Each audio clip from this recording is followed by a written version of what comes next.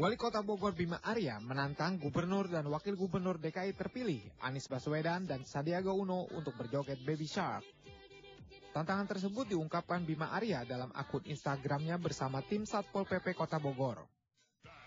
Beberapa waktu lalu Sandiaga Uno berpose burung bangau yang sempat viral di media sosial.